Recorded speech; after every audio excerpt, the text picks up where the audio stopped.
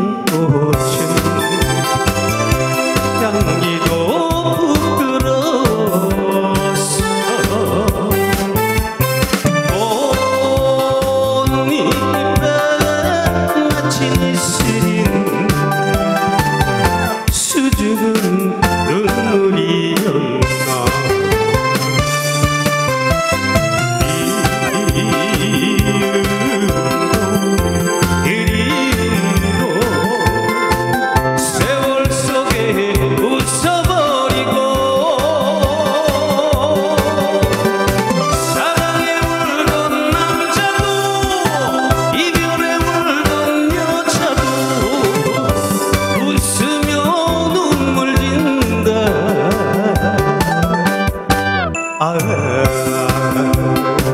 arab sugi.